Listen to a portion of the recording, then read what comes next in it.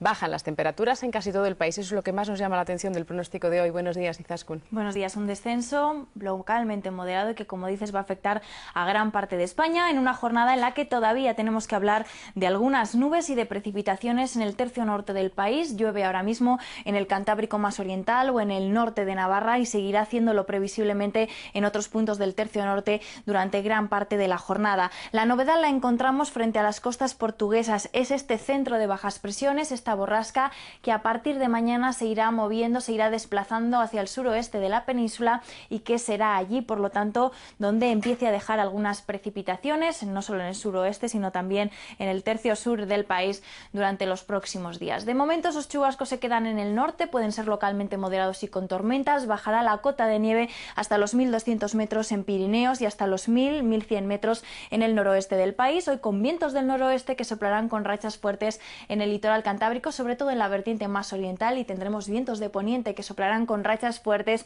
en la provincia de Albacete y en el litoral mediterráneo andaluz.